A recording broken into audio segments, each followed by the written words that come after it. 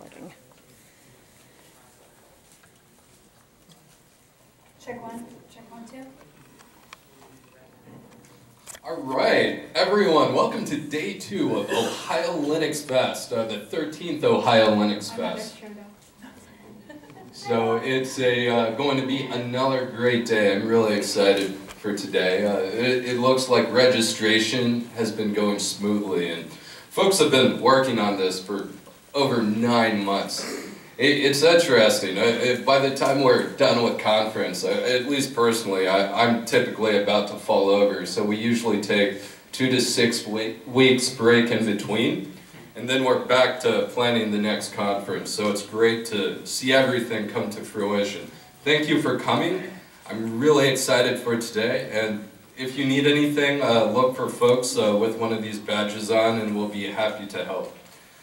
I'm really, really excited for our keynote today. It's not often that we get to do an interview style keynote address, so it, it should be really fun.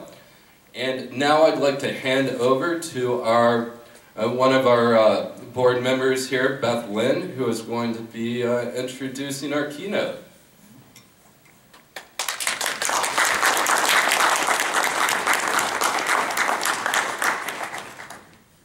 Welcome everyone to the Ohio Linux Fest. I'm proud to introduce Ms. Valerie Aurora. She is the co-founder and interim executive director of the Ada Initiative, a nonprofit organization which helps get and stay women involved in open source in similar areas. Valerie is an experienced open source engineer and was the leading file systems developer, researcher, and consultant for over a decade. She invented several new file systems concepts such as the relative A time, co-founded Linux storage file systems, memory management summit. Valerie has also been working to increase the overall participation of women in open uh, source and open culture projects for over 15 years. She was a member of the first international Linux group, LinuxChix, and wrote the How to Encourage Women in Linux, translated in over 13 languages. She was also a contributor to Geek Feminism wiki and blog. She was led to be the author of the Ada Initiative examples for conference anti-harassment policies. Now in use by hundreds of conferences both in and out of tech. She has created and teaches the Ally Skills Workshop, which teaches men simple ways to support women in open source technology and culture. She was also the recipient of the O'Reilly Open Source Award in 2016. It's our privilege to have here, here at our event. Everyone, Ms. Valerie. Uh, I have some prepared questions for um, Valerie here. And what I'm going to ask you all to do is take the, the note card and the, the pencil around your seat. And if a question occurs to you uh, within the next 15 minutes, please write it down and we will have a volunteer come and collect it. Thank you very much. Barry, you might not know this, but it, you and I, our careers have um, mixed paths quite a bit. Uh, the fir very first time was in 1999. I actually had a Linux profile too. Well, and um, that, that's the, the first time that, that I saw you and I always looked up to you and admired you, and I'm very so thrilled to have you on the stage today. So welcome. Well, Beth, Bethlehem, I just wanted to say um, I never imagined that I would have the honor of actually getting to work with you in person and come here to Ohio Linux Fest. And I just want to say that um, uh, a good part of the reason why Ohio Linux Fest is so highly regarded and so popular and still going after all these years is your incredible hard work. So thank you. Oh, thanks. Thanks.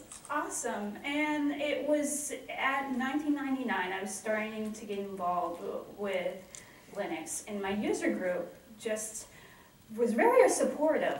However, they were very apologetic that there weren't a lot of women involved, and that's how I got involved with Linux Chicks too. So Valerie, how did you first get involved with Linux? Yeah, uh, so I was incredibly lucky. Uh, I was in, uh, in 1995, I went to university at this little tiny college in New Mexico called New Mexico Tech, originally New Mexico Mining and, uh, Institute of Mining and Technology, but they dropped the mining. So, um, and I, I was lucky there that there were two Linux kernel developers working on the PowerPC platform who were uh, uh, teaching at the college at that time.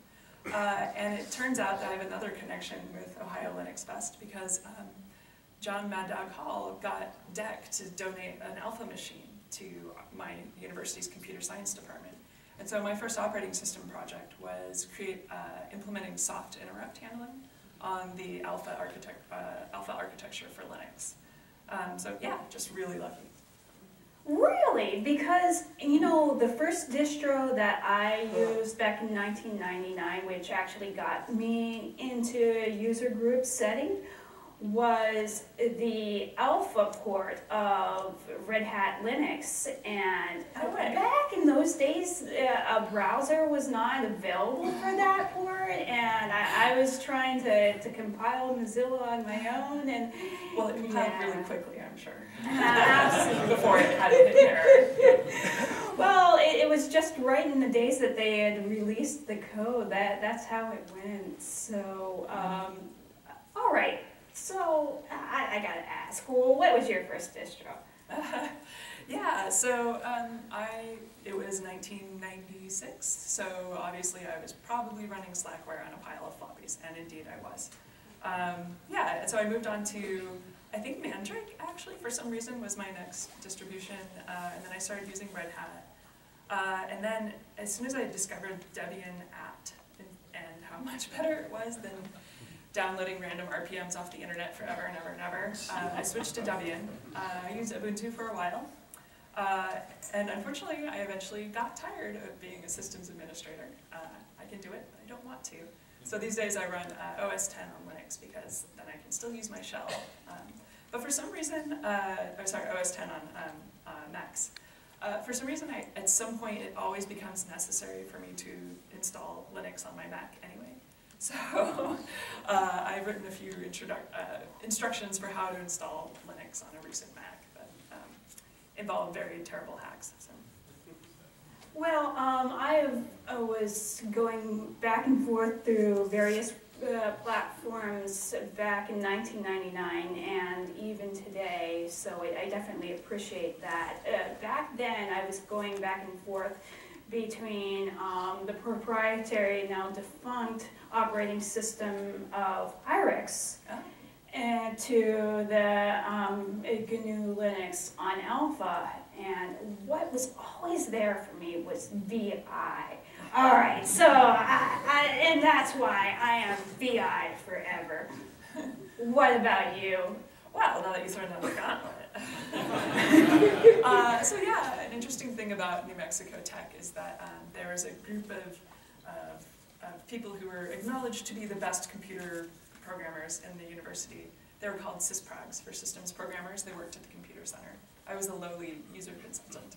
Uh, but they all used Emacs, and so what people would do when they were teaching our computer science classes is they would make us all copy the sysprogs.emacs configuration files uh, and I went and looked at my .emacs before this uh, interview and discovered that there was a comment in there from 1994 from one of my sysprogs still. So, um, so yeah, I know enough VI to edit etc files and, uh, uh, you know, just in case I'm logged into a computer that's not attached to the network, so I can't download Emacs. I got my start in research computing too. It was actually an internship at Pittsburgh Supercomputing that brought me to the, the GNU Linux operating system, and it's been a really fun time ever since. But, but wow, you, you really dug into it with all the file systems work. And, and you even did ZFS on Solaris. My goodness, what a trip. Unixes. And um, also, of course, EXT3 uh, and the ext4 and Union mounts, and then there was something called ChunkFS. So yeah, I named a file system chunkfs. Uh, yeah, you should you should never let me name things. It's a terrible idea. All right, so tell us a little bit of the relative A time and how you use some feminist principles to come up with a solution to architect this classic Unix file systems problem. Ooh, classic. I like the word. Okay. Yeah, so this is an interesting combination of technical file system stuff and um, feminism, which uh, of course made everyone at Hacker News very angry when I wrote about it. So, uh, so to, to understand uh, what I did, the first thing you need to know about is a little bit of technical background. So in Unix, uh, files have uh, three timestamps. Um, one of them is the last time the file was read. Uh, that's called A time. The next one is the last time a file was uh, written. That's called uh, M time. And the third one is called C time, and it's impossible to explain without getting it wrong. Don't worry about it. So um, the important thing is that you know that um, uh, files in Unix have these have a, a timestamp that's stored on disk that says when the file was last read and when it was last written. So um, the thing about writing to disks is that it's really slow. Uh, and especially, it's especially slow if you're writing a tiny bit randomly somewhere located anywhere on the. Uh, so most of the world's data is still on spinning disks. Sure, your laptop has an SSD, but all of that data you use in the cloud, the magical cloud, is on a spinning disk, and it's slow to do writes on that. Um, so the thing about that that is frustrating about this is that uh, in the best case, when you're doing a read, the, re- the data you're reading is cached in memory because you've recently uh, read it. It's still sitting there. All it is is a memory ask. That's a memory um, access. That's really fast. The bad part is because Unix decided you want to track the last time that you read a file. Every time you read it, even if it satisfies it in the ca- memory cache of the machine, it goes out and writes to the disk.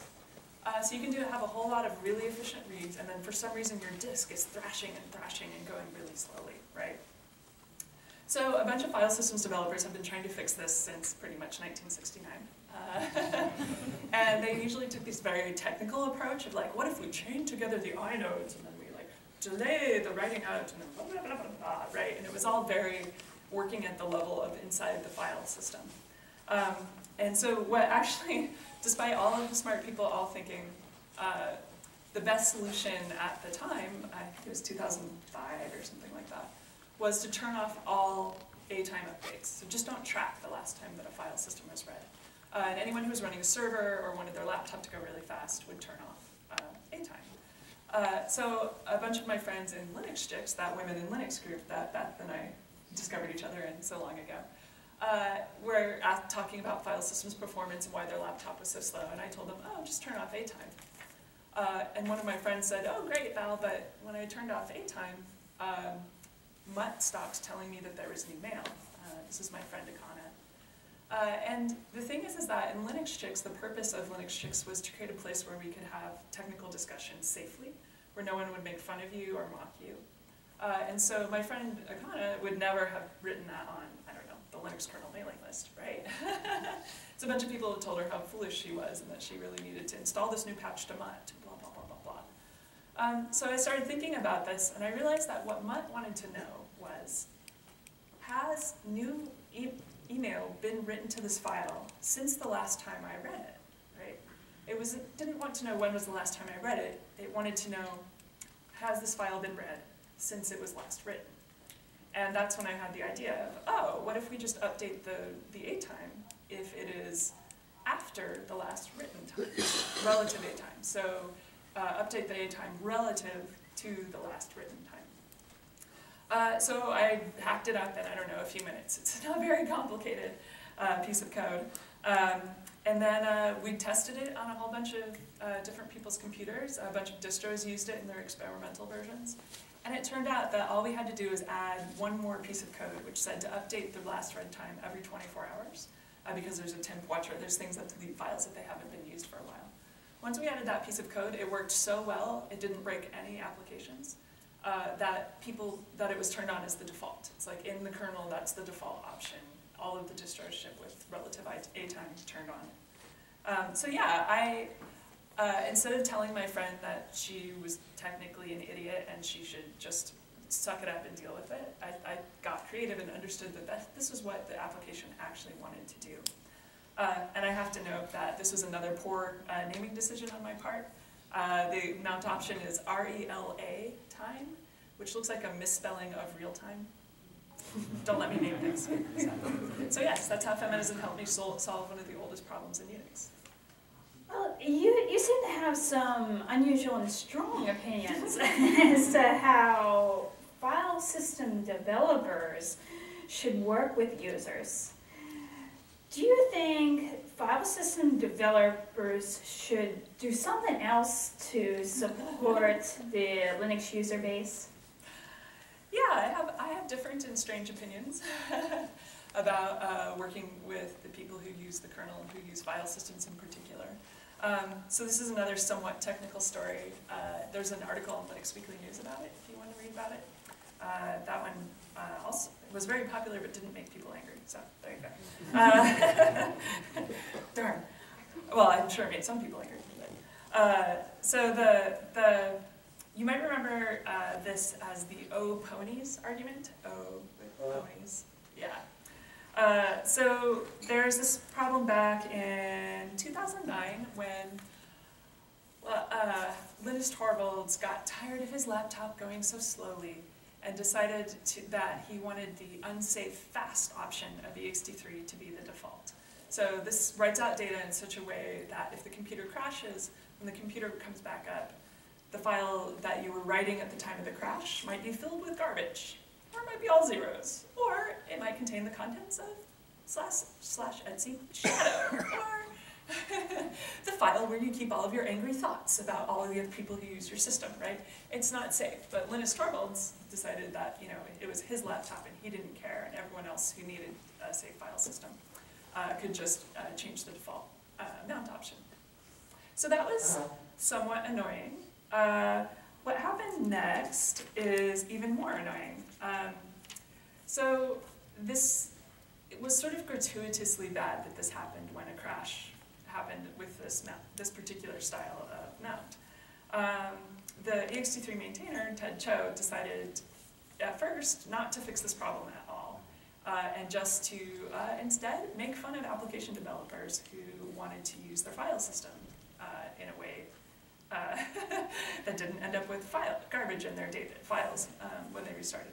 In particular, the problem that was happening a lot is that people wanted to update the contents of a file uh, atomically. Either all the new data is there or none of the new data is there. Um, this is something you want to do a lot. And a really safe way to do that is to create a new file, put in all the new data in there, and then rename it over the old file, right? Uh, and this worked like a charm. Either you would get the old file and it was perfectly consistent, or you would get the new file and it was perfectly consistent too. What happened with the new world and the new uh, default is that that new file could, uh, could have garbage in it, could have data, could have zeros, could have the contents of your password file, right? Um, so uh, Ted wanted to fix this by calling fsync after a rename. He said, oh, well, rename doesn't have that behavior. It's not defined by POSIX. It's merely, you know, logical. uh, so call fsync. Now the problem with fsync is that it's very slow. Uh, and it's extreme, even slower on ext3 because it requires every single write that was queued to the file system at that time to complete before it comes back. And so if you called fsync when some other activity was going on, it, took, it could take several seconds uh, to come back. And a bunch of, uh, again, applications developers said, uh, that's totally unacceptable. I can't have it take three seconds for people to move a window, right? So um, people started joking about this and calling this the O ponies option to open, the open systems systems call, and pretending like asking for a rename that either, either gave you the old data or the new data was, was like a little kid asking for a pony at Christmas, right? Like, you gotta have the pony. Ah, file systems are just not that reliable. So the thing that I really remember about this argument was uh, at one point, um, uh, Ted Ts'o was making fun of a woman who played Tux Racer on her desktop. I believe it was KDE. And the thing that she would do is she would start up KDE and she would rearrange all of her windows into the, just the right configuration so that she could see everything. Um, and then KDE would try to save that configuration uh, using reaming. Uh, and then she would start running Tux, Tux Racer, uh, which I don't know, how many here have, have run, played Tux Racer? Uh, unfortunately, she had a buggy video driver, and sometimes it would crash the computer within, I don't know, a minute or something like that of starting Tux Racer. And whenever that happened, all of her configuration files would get full of garbage, and she'd start up KDE again, and her windows wouldn't be in the right place. Uh, and uh, this person jumped on this as a totally unreasonable thing to expect. Look how trivial your, your ideas are, and uh, how I can't believe you want to use my file system to save your window locations, right? um, and I thought that was really obnoxious. Um, I really think that uh, uh, just because it's, it's hard to implement something, some sort of data guarantee in the file system, that's not a good reason not to do it. Uh, so eventually I had to back down and actually fix some of the bugs that were causing this behavior to happen. Um, but I spent a lot of a lot of my articles for Linux Weekly News are basically advocating against this kind of uh, this kind of attitude. So uh, I'm on the side of the people who are using the file system because that's almost everyone. There's only like 12 of us actually writing the file system. So Oh, well, thank you for standing up for the users, not only the users, but, but the desktop users and the new desktop users and even the game players, because everybody has to start hello, game players. somewhere um, for the, um, their right. experience. who got excited about computers because they played games on them? Right, yes, okay. Well, uh, uh, absolutely. Thanks for, for doing that, that poll. Um, but what what is really my passion is the, the desktop experience, especially Yes. for, for the children. And um, uh, one of the people who are in the audience today is um, was my mentor, Dave Stebek, who we, we went to Ghana with Computer Reach three years ago, and he's going to give a presentation about that later on today. And even though I wasn't paid, that was most definitely my dream job, my dream experience. And I, it's just been a remarkable journey as to where free software has taken me. But in, in um, uh, 2008, you were working for, for Red Hat as a systems developer. How cool was that? How, what was that like? So it's funny because when I started working on Linux, um, working for Red Hat as a kernel developer was just out, un, out of the question. I couldn't imagine ever being that good, right? Uh, so it was really exciting to me to get a chance to work for Red Hat, and it was actually as good as I thought it was going to be. A lot of that is because uh, my boss is was uh, Ric Wheeler, who's this fantastic guy. If you ever get a chance to work with him, do it immediately. Uh, I got to work on upstream stuff. Uh, I got to work four days a week, which was really nice for most of the time I worked there. So um, the big things I worked on there was uh, the 64-bit userland support for uh, ext4 uh, and union mounts, so which was one of the many file systems that preceded the overlay FS, which is now the in-kernel stacking file system that you should be using. So it was a really good job. Oh, well, okay. So why did you leave if it was so fantastic? Yeah, it was really hard. I spent a lot of time wondering why, you know, what's wrong with me that I'm considering this. Um, so actually, uh, I had been working since uh, for the previous decade to that about um, to get more women involved in Linux, right? Uh, so I started with LinuxChix, and then I started working on geek feminism. Uh, and then uh, I was working at Red Hat, and a friend of mine, it was about five years ago, uh, got groped for the third time in one year at an open source conference. And I just couldn't take it anymore. I, I realized, I remembered, uh, wow, I was groped at a conference twice, including one of the conferences I started. Uh, and I just, I just couldn't anymore in good conscience encourage women to go into a field where I knew that they could be physically assaulted if they went to a conference. So I either had to stop getting women involved in Linux, um, or I had to fix it. That's how I felt. So um, I, I decided that I was going to write an example conference anti-harassment policy with the help of a bunch of other folks, including Beth Lynn, uh, and my uh, future co-founder, you'll hear about that in a minute, uh, Mary Gardiner. Uh, and so we did, we wrote this anti-harassment policy that um, is now in use by hundreds or thousands of conferences, including entomology conferences. It's really amazing. There's even a, some kind of a band that has a code of conduct for their shows. Um, so yeah, I told my boss, Ric Wheeler, that I was going to do work on this for the next few weeks. He said, great, go for it. Red Hat supports you the whole way. Uh, and it was really successful. We launched it, a whole bunch of organizations developed, uh, adopted it right away, including Ohio Linux Fest. Uh, and I decided that since it was so successful, I was going to go ahead and try to work on this full time, uh, making open source software more accessible to women. Uh, I didn't know how I was going to fund it. it took about eight months before I started collecting a salary again. But um, yeah, we started, I decided to, uh, I got Mary Gardiner to co-found, co-found with me, and she is responsible for the good name, the Ada Initiative, named after Ada Lovelace, the world's first computer programmer. Uh, although many people think it's ADA, an acronym, so, or that we're in favor of uh, the Ada programming language, which I did actually write for about six months, so, uh, yeah. Well, y- you've had some opportunity through the Ada initiative to uh, schedule some events. Can you tell us uh, about the ADA camp and the unconferences that that initiative has presented?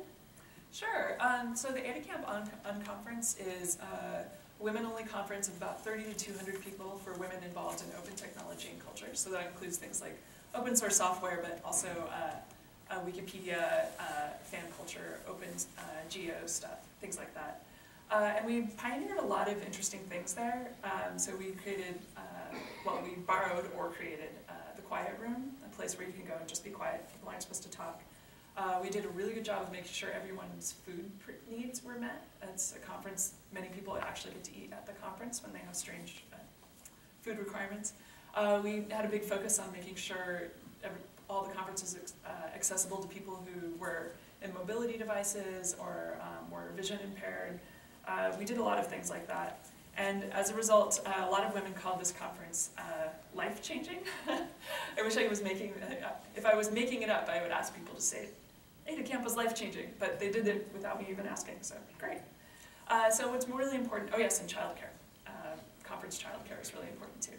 What's really great is that we're seeing a lot of these innovations at other conferences now, like uh, the Linux Foundation conferences, PyCon, stuff like that. Well, excellent. I, I also wanted to thank you for leading the Ally Skills Workshop yesterday and uh, took part in, and, and it was a absolutely excellent experience for, for everyone involved. Now, this uh, teaches men how to support women in open source and other areas. People usually focus on teaching women differently. What inspired you to put together this workshop? Well, so uh, I'm a systems programmer, and so I know that it doesn't make sense to optimize this, the, the part of the code that's only taking up 2% of the time executing. You should probably look at the part of the code that's taking up 98% of the time. So similarly, there was a, a, a survey in 2006 that showed that open source software was about 98% men. And I just realized, wow, we're not going to change anything unless we're getting men involved in changing the culture. So I saw a similar workshop at Grace Hopper Celebration taught by Carolyn Simard, who's an amazing researcher in this area, uh, in which people role played out scenarios in which they could take specific action to support women. Um, I discovered that most operating uh, uh, open source folks were too shy to role play. so I changed it to a discussion format, and uh, we, we spend a lot of time uh, discussing how we might respond in a situation, and that way we get a lot more um, uh, a lot more uh, uh, different um, approaches to the problem, and people get a better understanding.